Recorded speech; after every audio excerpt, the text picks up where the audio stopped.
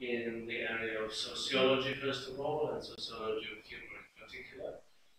Um, she, well, there's a few things we have in common with this. Uh, we have a great friend and uh, mentor, um, Professor Christie Davies. Uh, a lot of people know him here because he also taught at this uh, college for, for a month uh, already nine years ago. Uh, and he was a great influence on the way we understand scientific humor, and we understand ethnic humor in particular. So I, I thought I would mention uh, his name. Um, uh, Linda Kuipers is also an author of an influential book on humor called um, Good Humor, Bad Taste, um, published uh, already some time ago and refers to the idea of highbrow and lowbrow culture, and uh, lowbrow humor and highbrow humor in the, cultural prism. Uh, she taught at various universities in the Netherlands, including Amsterdam and Rotterdam, uh, and also now she's uh, based out from this year at the University of uh, Leuven.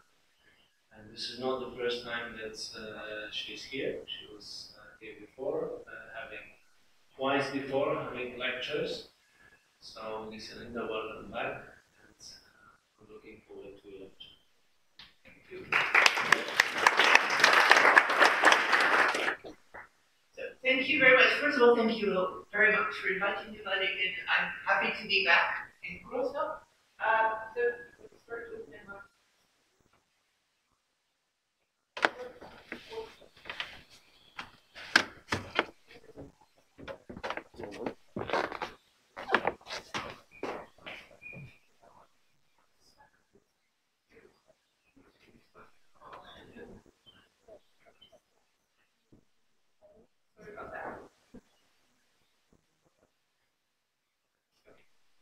This is what I'll talk about. So I'm talking today about humor and polarization. Uh, so uh, first say something about what I mean by humor. Uh, but I mostly want to discuss how humor has recently, actually in many different places, has become much more manifest in uh, political communication and also, unusually, how it's also been used more by politicians themselves in highly specific ways. And what I would like to explore in this talk is how humor is contributing to political polarization. Uh, so I would, I would like to ask of you, especially of the students, uh, so when I'm talking, I'm really curious also how this works in Poland. So I'll give you some examples from the Netherlands and uh, Italy, the UK, and the US. Uh, I know something of the kind is also happening in Finland, although I'm not including examples, but I'm really curious about the Polish situation because obviously Poland has rather uh, pronounced political polarization, also social polarization currently, uh, and I'm just interested to hear how this manifests also in humor, how humor is playing a role in this. Uh, so afterwards, if you have any, so I'm actually, rather than having uh, you ask me questions, I would really like to have your input if there is anything about what I said that you recognize. Um, so I'm just a cartoon to get you started. Um, so this is actually, I think, where it started uh, in Europe. So I'm not sure if you know this is Berlusconi, who was uh, the political leader, um, president, prime minister, prime minister, right? Of Italy uh, for a long time, and he actually became very well known for his sort of uh, rather outrageous political style, uh, which included joking in very irreverent ways, bullying, um, mocking his opponents, and this is a very famous moment already in 2003. Uh, I'm not sure if does anyone recognize this. So this is the moment where he said to Martin Schulz, who later became the, the chair of the European Parliament, so a German um, uh, MP of the European Parliament at the time. Uh, and this is Berlusconi saying that um, he um, he, he, well, the, the long story is that you can see sort of also the way he presents. So he says, I, um, I know someone, a friend of mine, and he's making movies and also doing the casting. And uh, next time he's making the movie on Nazi Germany, and then to his colleague in parliament, uh, I'll recommend you for the role of kapo, so Nazi camp officer. And then he has very interesting, so he's very good at timing. So he's, I recommend you for the role of kapo. Misses the number of beats, and he says, well, you'd be perfect. And it's actually, so it's a joke. Uh, so really, you can also see from his face how he thinks it's a joke, but it's also uh, not a very polite uh, sort of intervention. Um, it's uh, a great insult, really, and it's something that at the time, so this is 16 years ago, drew a lot of attention because it was so outrageous. And I think it's interesting if you see now that it actually looks very, very familiar because we have a lot of these outrageous, mocking, insulting, uh, transgressive uh, politicians now who are doing these sorts of weird things and also using the media to get a lot of attention. So this is the sort of political style uh, that I want to sort of quickly dissect now and also think how it's related to political polarization because I'm afraid what the Italians, of course, know, this too, is actually that we used to think of Italy as a country that was politically backward, I think, for a long time in the north of Europe, and now the opposite is true. We think that actually in, in Italy everything happens before it happens in all the other places, and that is uh, not a happy thought, I can tell you.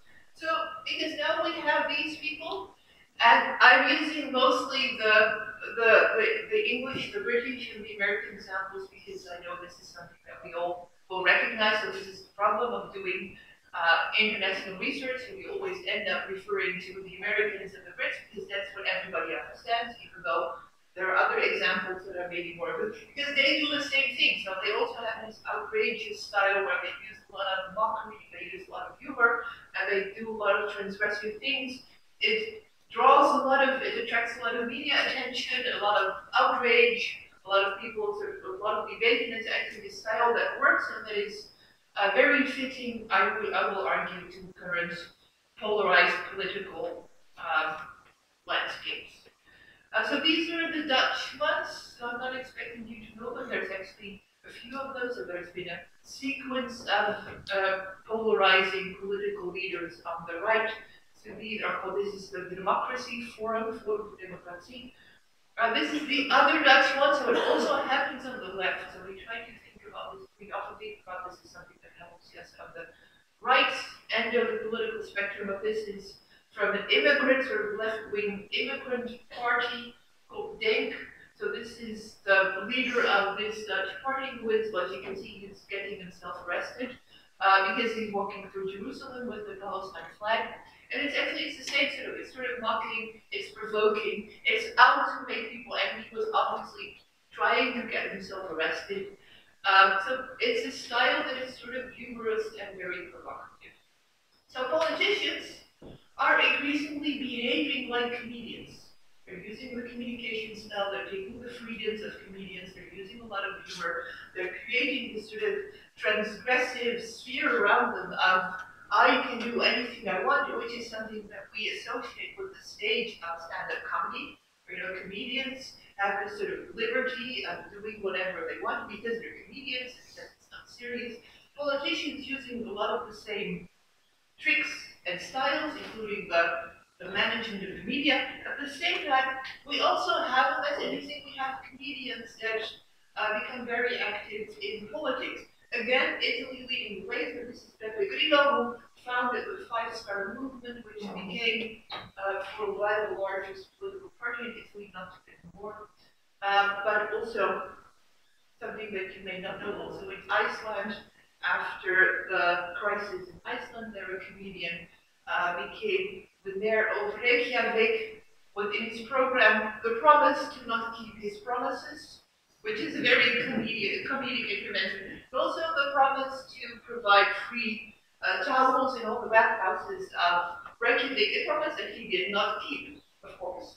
Uh, and also very recently, very close here in Ukraine, we have the community one. So we have a very interesting sort of convergence where comedians are moving into politics with programs that are not very easy to figure out, and with politicians who actually adopt many of the sort of strategies and styles of communities.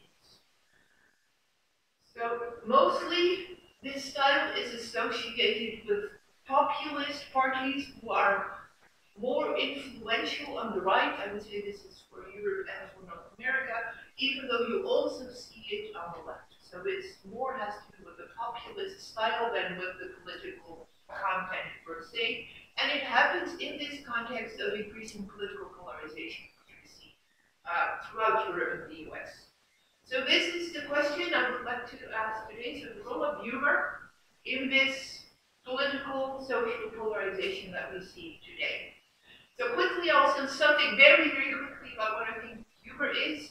So I've I published about this before, so it's just a summary, so to give you a sense of notion of what sort of approach I take. So I don't really think that it helps to give definitions of humor, uh, because they tend to be very slippery and very contested. But what I do see is that there are a number of ingredients that you see in humor around the world, and I think these ingredients, it helps you to understand how humor works as a form of communication. So one is that humor is connected with laughter.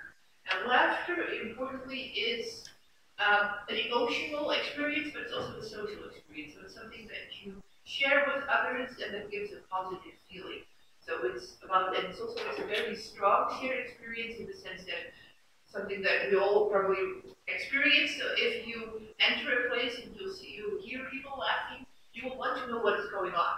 Even though, because when people are laughing together, this suggests that they have, they share something, that there's something that is, connects them and you want to be part of it. So it's a very strong signal of togetherness.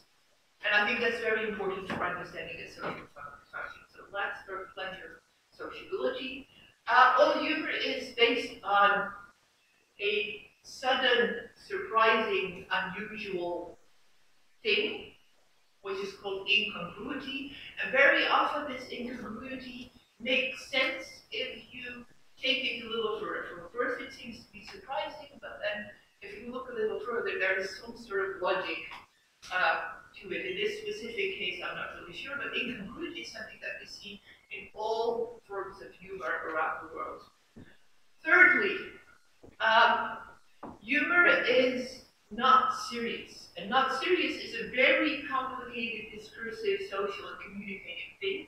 So what it means, first of all, that if you say something by way of a joke, uh, it is not to be taken literally. It's not bona fide, as um, Helga, I think, said yesterday. So it's not uh, meant to be believed or not meant to be taken seriously. So this is something that you can signal in many ways, for instance, like having a very funny face or by putting a kettle on your head, or clearly it shows that then you're not being serious.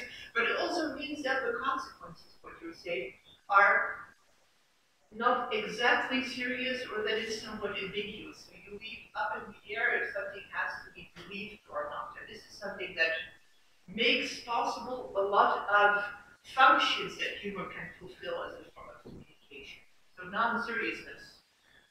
Uh, then, fourth, humor very often is about things that are a little sensitive, a little painful, that are uh, a little, that are about taboo subjects. So humor is transgressive. So this is not always the case, but very often you will see that humor has some element of something or saying something or to something that should not be said or cannot be done. So it opens up, and it's actually this non-seriousness that opens up this possibility of all always transgressing. Because first you say, look, I'm not serious, you're not supposed to believe me, so then I can walk around in very bizarre sort of uh, outfits, like we'll have here. And then finally, humor also because of this uh, non-seriousness, can actually it pulls things down. There's, it takes things not seriously, so it makes them smaller, and that often also may become ridicule or aggression or hostility, especially if you sort of direct it upwards. It means that you make something that is powerful, that you make it smaller. So this can work both in a sort of good way of satire that you're laughing at the uh, the person who is your superior or who is in power, but it also can work downwards. So you also ridicule or degrade people that are already uh, lower in status than you. So it goes all ways. Um, so you make something smaller by not taking it seriously, and it can work against you because the cartoonist who actually made this uh, image and published it lost his job very quickly afterwards. So it's not without risk, and increasingly it's not without risk. So what, because of these ingredients, humor is a very complicated form of communication. Uh, so it's really, it's really a miracle that we managed to pull this off successfully several times a day. That we actually make a joke that is picked up by many people in our surroundings and that makes them laugh because so many things are happening at the same time there that has to be balanced so carefully. It's really a miracle that we can do this. And also, it can perform a lot of different functions, and many of these functions have to do with the marking of social and cultural boundaries.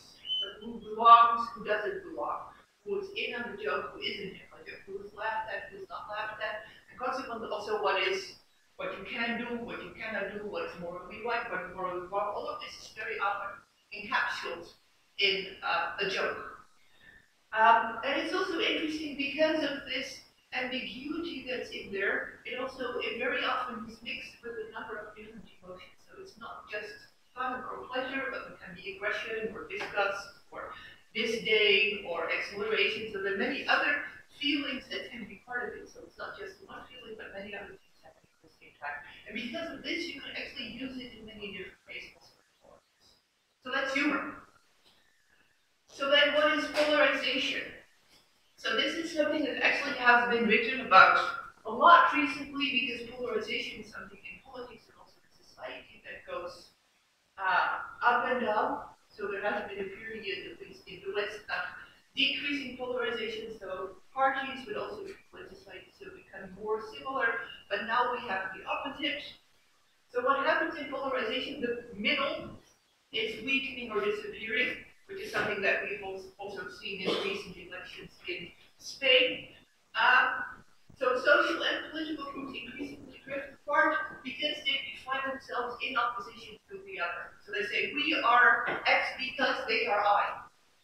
Um, so if groups actively cultivate these group boundaries, they really say, so we are totally not them, we are so not them, we are really, really, really never them. So that is something that is repeated a lot. I'm sure in the Polish context you recognize this. And then these group identities become increasingly central to self-identity. So this is something that is very well documented in the United States, where uh, political parties increasingly become the of the identity. People, for instance, will say, I really would not want my son or daughter to marry someone of the other political party, or I would not want to my neighbors to be Democrats. So this is, and then your political identity becomes your self-identity, your personal identity. So this is a people in Europe have a strong perception that this is what's happening in their country, so that these divides are there and that they're becoming bigger. So you see also, I think Poland is also in here. Yeah, so in Poland, as you can see, people are really saying that their country is more divided than 10 years ago. In Europe, most people say that their country is most divided and getting more so. Uh, so this is really something that is going on. And my suggestion is that this new political style is contributing to this development. So it's reflecting it, but also speeding it up. So how does it do that? I'll just give you some examples of the five main strategies or the five main ways that I see this happening. Uh, I'm actually building on a small but growing body of literature in human studies on uh, political humor and conflict. So there is a book by Paul Lewis, who was actually quite a visionary book because this was already published in 2008 when he wrote about cracking up, so how humor uh, functions in political conflict, also 10 years old, The Limits of Humor by Sharon Lockyer and Michael Pickering. The literature is much bigger now, but these are sort of the founding books there. Uh, so the first thing that we see that politicians are doing is humor to attack and mock. So think of Berlusconi, who is calling his German colleague a capo and laughing. So it's presented as a joke, but it's also an attack. And that's something you see very often, so it's a specific form of humor that is really deeply aggressive. Interestingly, this does not happen very often, so this is not the most common because most politicians are embedded in a parliamentary system where direct attack is risky and will sort of has a tendency to sort of explode in their face because it's if so if you ridicule others directly, it's a very strong breach of relations. So you're really putting yourself up on the.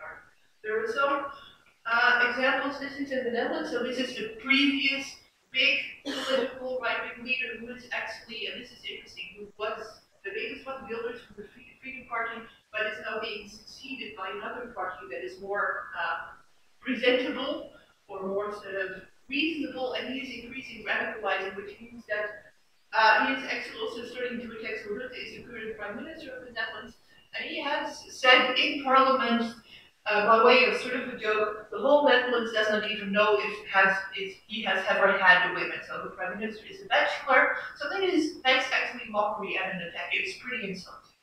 Um, I have to say our prime minister is not my party, but pretty good responding to this. But this is an example of direct attack and mockery where you really place yourself outside of the border. Um, also, the other, sort of the left-wing immigrant party, they, with the guy with the flag, also does this two examples. So this is their YouTube channel. They're actually very active, all them on social media, as you can imagine.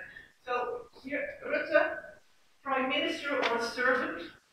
It's actually Knecht is actually a, a worse name than servant, but I couldn't really come up with Rutte or an egg. So this is really direct attack, which you see on the both sort of the extreme ends of the political spectrum. Uh, in the US, things have gone a little further, and there Trump actually is attacking his opponents all the time. And one of the things that Trump is doing is, I think this is sort of really, it's interesting if you look at his tweets, it's really sort of the logic of, of the, the schoolyard. So he's making up names for each of his opponents and constantly referring to them by sort of these semi-funny, mocking names rather than the beautiful Orr family um, crooked Hillary, lying and leaking James Comey, her Lisa Page and her psycho lover, and then also Bob Mueller, who was in charge of this investigation. He always consistently the highly conflicted Bob Mueller. So he keeps, it's name calling, and the name is exaggerated, so there's also, there is an element of humor in there. So you mock people by attacking them and by sort of having these sort of non-serious names.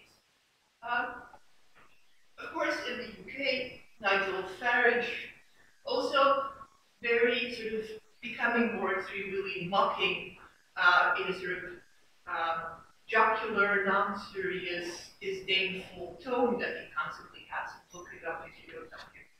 Uh, it's very difficult. It's difficult in two ways. So one, I said it's really difficult because it really plays yourself out of the order. So once you've done that, it's actually very difficult to get back into sort of the the, the actually working, functioning uh, politics, which is something you see with Trump. So he really, there's no way, so for sometimes the system thought they could sort of encapsulate him, well, they can't. He's really, he's using a different term. It's also very difficult, if you do it, it's also important because it's also very, very difficult to respond elegantly if you try to be a rational, decent, reasonable, political person who wants to come up with solutions. So it's very difficult to respond to this and remain dignified.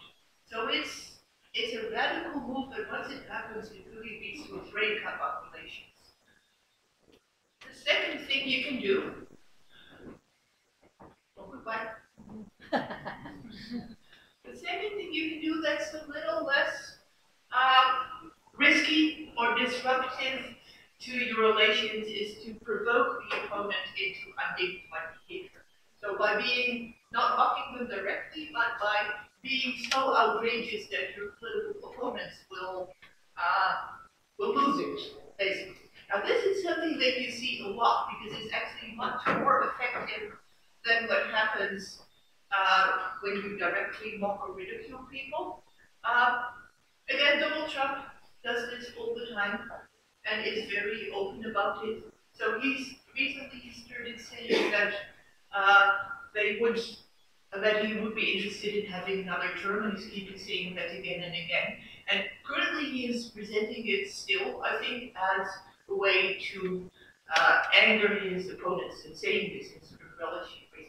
Drive them crazy by saying this all the time. Uh, so this is this sort of more respectful Dutch version of Terry Rodriguez, or the version. So he does this all the time, and like many others right wing, he's onto women. So he's very anti-feminist, so he has a routine of baiting feminists. So, and it's also presented, so this is from their own YouTube channel, so they use it. So he's actually saying, well, of course, women are different. He says it's really better when women stay at home, have children, and uh, not meddle with politics. And um, so all women want to be raped. He says things like that, and then he says it's a joke, and then of course everybody's angry, and that means what that means nobody can accept the real truth that I'm saying. So here, this is what happens when parties take issue with Baudet's statements about women euthanasia and abortion. So it's it's baiting, it's provoking, and then making your opponents angry because anger doesn't deliver. And there's sort of a half mocking, humorous undertone very often, which is very easy. And then if your opponents are angry or provoked, you can mock at that too, because they're losing it. You're just saying just talking about the book. The third thing that we see is more indirect. So the first and second really are about forms of attack, really about highlighting conflict, attacking others, or to uh, uh, provoking them. The third is about building community through laughter. Can I ask why you're all leaving? There are classes, yes. I'm just wondering, okay, well then enter your class. So the third thing is more indirect, and this is something that you see uh, very often in, well, not only in the political appearances of right-wing politicians, but also if you see footage of the meetings of especially the right-wing um, uh, gatherings, that there is a lot of laughter and humor there. So I'm not sure if you've ever looked at the rallies of Trump, uh, but it's really interesting how much laughter is going on, and there are many, so I didn't want to show it because it takes so long, but look it up because what Trump does is he exploits laughing jokes, and then he takes a lot of time to really sort of allow the laughter to sort of roll through, through like waves and waves. So he's really provoking the laughter and letting it sort of um, move be there for a long time to, for this very strong sense of community that laughter creates. So it reinforces the in-group, so we're always together, we're the same people, we see the world in the same way, and it's an exhilarating feeling that is very often called upon. Uh, and I have one clip that I want to show you to see how this humorous style actually helps to sort of uh, build this sense of community. Uh, because there's actually after the so uh, before the election of Boris Johnson uh, to become the, the leader of the Conservative Party, which then also the Prime Minister, he did a tour of the UK because the members of the, the Conservative Party had to vote for him, and he used a lot of humor, and there was a lot of clips also on YouTube just about the way Boris was using his humor. So the humor was really also invoked as to create this sense of in-group feeling. So it's us together, we see the world in the same way. Um, so one of those. I cannot swear I've always observed uh, a top speed limit in this country 70 miles an hour. I, going to, I'm going to, employment has fallen to the lowest level since 1972. Exports have soared. English football teams have won both the Champions League and the UEFA Cup by beating other English football teams. We said that we'd do 100,000 homes, and we did, we did slightly more than that. That's not a huge number more, but slightly more. Uh, I'm going to go now to George Parker of the Financial Times, or Mon Journal Préféré, as Jacques Delors used to say. Thank you. Thank you very much. And so one of the interesting things is that I discovered when I was looking at all these clips is that one of the things that Boris Johnson would do is say Jacques Delors and then wait for a bit. And apparently there is a strong in-group joke. So some of these in-group jokes is just because it's just referring to things, not joking themselves, but having this sort of knowing we understand each other. We are in the same sort of uh, Mr Johnson, you suggested that Brexit would be, as Foreign Secretary, you offended people at home and abroad, and already in this campaign you're telling some supporters who will do everything to avoid leaving the EU. It's a simple question. If you want to be Prime Minister, can the country trust you? Well, uh, yes, of course, Laura. And the answer, I think, perhaps in that uh, great minestrone of observations was one substantive question, uh, which was, which was that uh, one crouton uh, I, I, picked up, which was that you think that I've been somehow inconsistent. Mr. Johnson, you brandish your Brexit credentials, but many of your colleagues worry about your character, your Foreign Office, your character, your character. Uh, your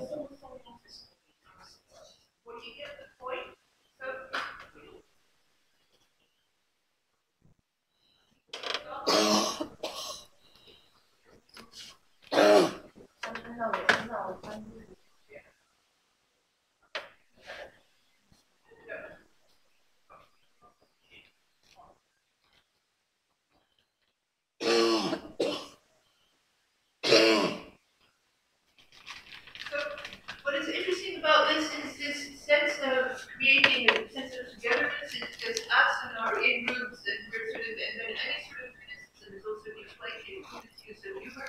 And these clips, so this was a montage. It was supposed to be most funny. These clips were widely circulated. So it's really also this sense of so us, the funny ones, and we're sort of in this together. So it's a way of building a group around being together and definitely not being the other. And then in that sense, it's also interesting to see how these two other groups are also positioned in these clips. So it's the EU with their uh, French names and their French-speaking things. It's a journalist who have critical suggestions, so they're included in this sort of building of in-group we-feelings of belonging through the use of humor. So this is with Trump and the rallies, it's with Johnson also really very much in the use of sort of mock, mocking, joking, sarcastic, as being so funny, and it's also used to reflect those sorts of criticism. Um, so, okay, this is, as I said, the rallies of Trump, where it's also sometimes a joke are really outrageous, and then they laugh, and the laughter sort of goes on and on for a bit, which is floats through the room in creating this, and this was about shooting migrants, so not a very funny joke. I would say. And of course, this is something that we know very well, this strategy of creating this inward humor from the alt-right, uh, which has a very interesting mixture, so this alt-right artifact of real politics and sort of joking in-group references that you're supposed to like only work if you recognize them.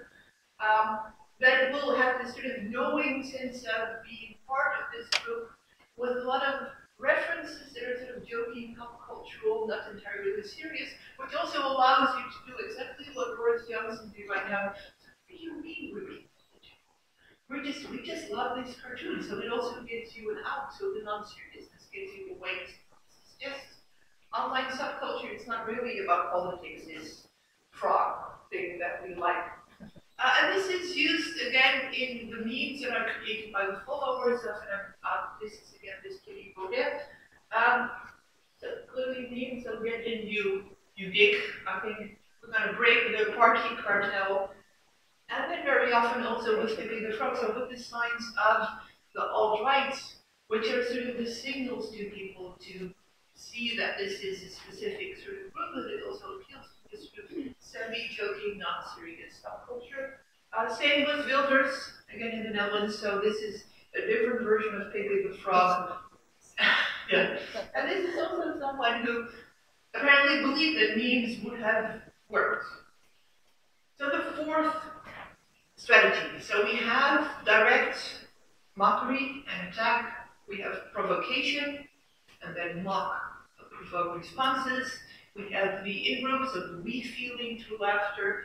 Uh, and then there is something really interesting about the new uh, populist right, which I think is something that, um, well, at least in the Netherlands and in Western Europe, hasn't happened since the 1970s, and then it was something that died out very quickly when the former hippies became reasonable people and joined politics.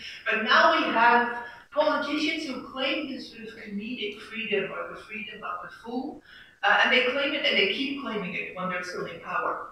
And that's a really, it's a really new thing. Uh, so this notion of the, well, I showed this already. So comedians um, can become non, can be non-serious, they can be inconsistent, they can be transgressive because they're comedians. So this is the sort of the contract that we have with these people. So they are on this different place, they're in this different world, they're non-serious. It means that they can do all the things that we cannot do. So it's a very specific form of privilege, but traditionally it came with the prize. So the prize is that you're a comedian and you're not serious. So you're in this different world where you do things that are not directly real. So there is a strong boundary. So there is, uh. So there is, for instance, a boundary that is between the carnival and the serious world. They're between the political and the, so this is in the in German, this is called Narrenfreiheit, which is a freedom of the fool. Uh, so this freedom comes with a price. So you can do anything you want at a specific moment, in a specific period, during a specific. I'm not sure if Poland has carnivals. Yeah, do you? Yes. So, so if you have a carnival, so it works. So it comes with a delineation.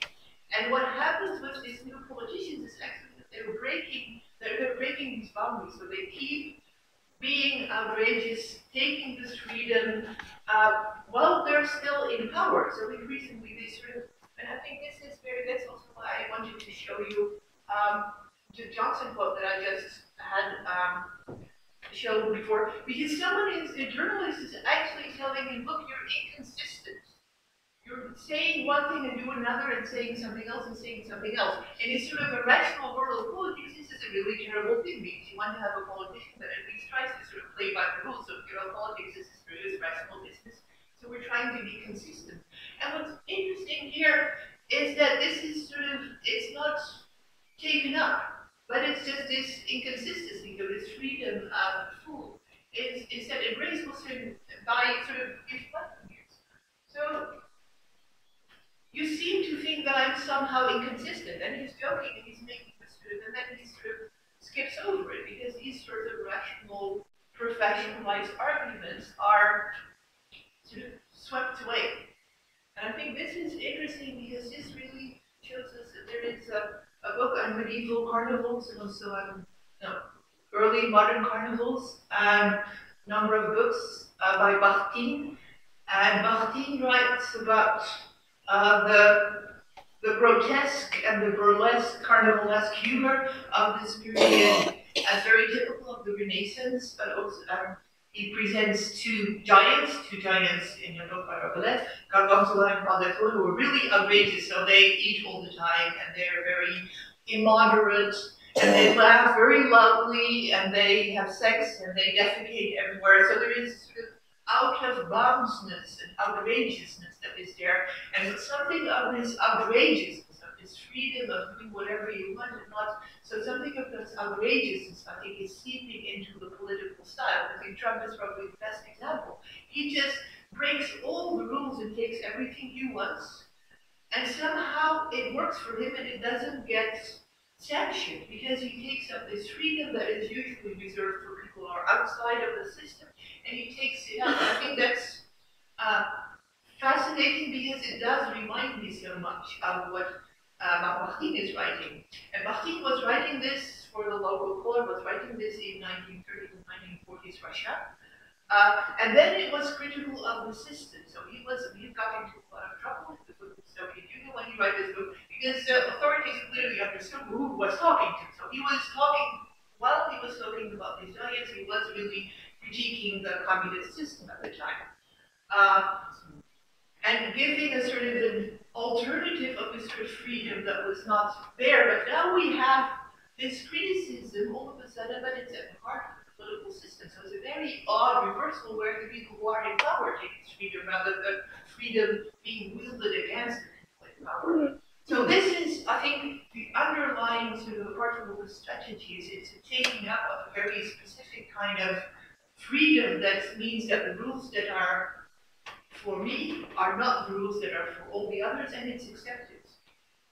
Um, and then finally, uh, what happens in this new polarizing style is the laughter at others, so at other outgroups, to cultivate in-group outgroup feelings, uh, and also to cultivate more serious effects. And this is actually where it becomes most painful, but also most difficult to grasp. So you'll see with all these politicians, you see that they attack other outgroups. Different ones, very often migrants, also sometimes women, but they do this in very uh, sort of careful, veiled ways very often, and it works also because social media helps. Um, so sometimes again, Donald Trump is always the best example because he does the real thing rather than the veiled thing that they do in Europe. So Trump, even when he was campaigning, he mocked a disabled reporter, so was saying there was this guy from the New York Times who was like this, and everybody was laughing at him. And it didn't hurt him. So again, the fool's free. He did this, people were laughing, and somehow so many people say, no, oh, he, he can't come to the president if he does this, and he, he did. So Trump is the uh, also, Geert Wilders, so the, the blonde weird guy from the Netherlands does this, so this is uh, a not very uh, uh, refined image of the Prophet Muhammad that he tweeted earlier by a well-known right-wing comedian. Um, and what works, I like to compare this to billiards, which I'm sure you also play. So what they do, very often most politicians, they don't attack directly. They sort of carefully open the gate by using the humor and by referring to a number of groups. And then they sort of let things grow freely and they use social media very often to use this. I think this is one of the very difficult things to capture also, when I write about this, this is where I get attacked also by trolls because there's a deniability of non-seriousness. Uh, but this is what happens, for instance. So the chair of Dutch Parliament is a woman, and she's also uh, of Moroccan descent. And what happens, both the right wing and the left wing political parties, they her because she's the chair of Parliament. So clearly, she's the person who's always saying you shouldn't be doing this, and this is please keep ordering, you know, like Bercow in the, so this is what happens. But because she's a woman and she's of Moroccan descent, this actually opens the door for a lot of insults, but also for a lot of joking at her expense. Um, so this is the one that I uh, translated for you yesterday to see the sort of horror that emerges in the comments to this, and this is actually very, very normal. Um, so it's about the fact that she's a woman, it's about the fact that she's a migrant. Um, I'm not very it to you, but you get the point. It's all not very nice. And very often it's also joking. So this was actually yesterday a very much shorter one. So what happens is that this transgressive, jokey behavior actually opens up a way for comments on social media to sort of for people to go further. So it lowers the barrier, it creates this jokey atmosphere, it equates the number of outgroups, and then of course these politicians say, they say, well, it's not us because it's the YouTube comments.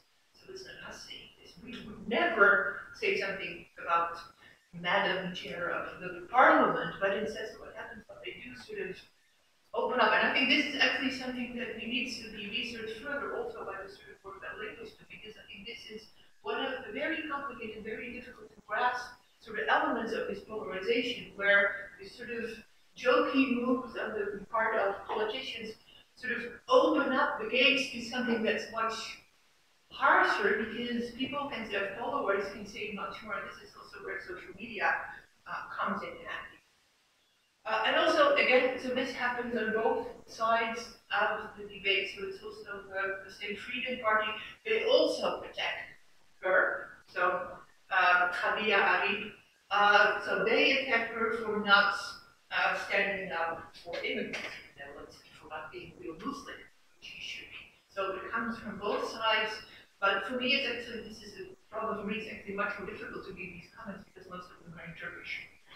Uh, so, so to conclude, uh, what I'm trying to show you is that there are actually a number of ways in which the use of humor by politicians uh, in a number of countries um, not only mirrors but also con contributes to this ongoing polarization. So there is a number of ways in which humor can do this by directly drawing boundaries between the self and others, but also by creating group feelings, uh, by claiming a sort of freedom that makes possible saying a lot of things that would have been unthinkable a long time ago, but also by sort of opening some doors for people say worse and worse things. And we know from also from psychological research that laughter actually has this capacity to lower some sort of emotional boundaries.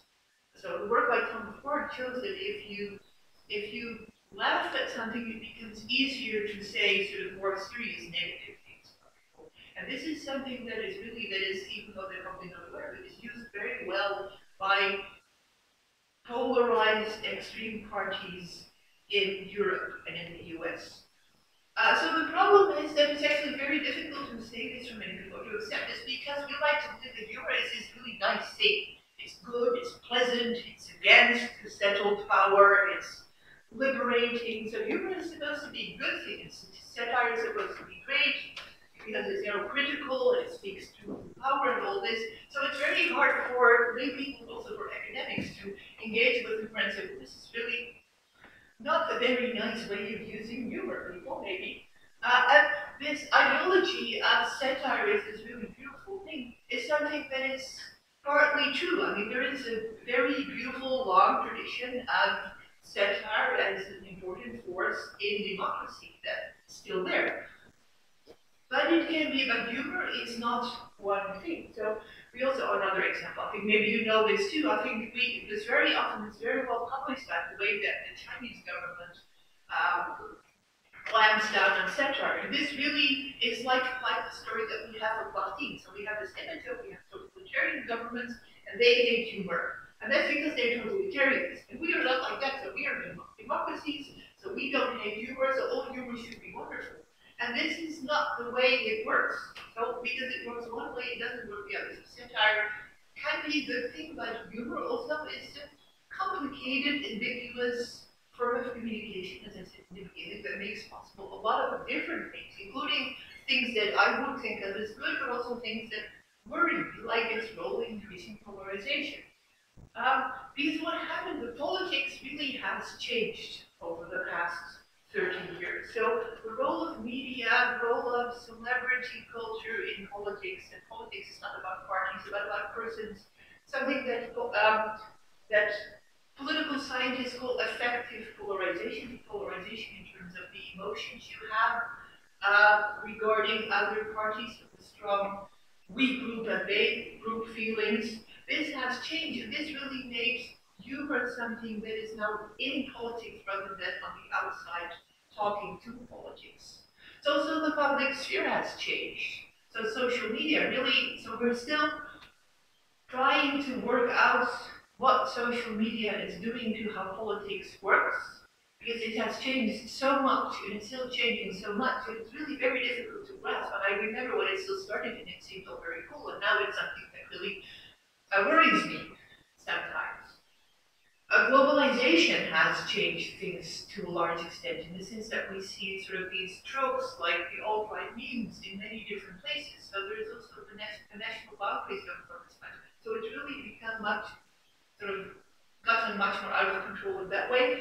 And then society also has changed, which means that now it's really the most important thing for a politician to have a good sense of humor because it means you're authentic and you're a real person and you're not a great bureaucrat, of media inequality has has grown in many places. So it's not a coincidence that these new uh, political leaders also are very rich. So the sense of freedom that they have, it's not just a sense of freedom because they're humorous, it's also a sense of freedom because they're so rich and so much elevated among us that they really have been brought up to think that the rules that apply to most people don't apply to them. So there is a big sort of shift in many societies, it really makes humor work very differently now from how it worked uh, 20, 30 years ago. So that means I think we really have to understand that humor is not inconsequential.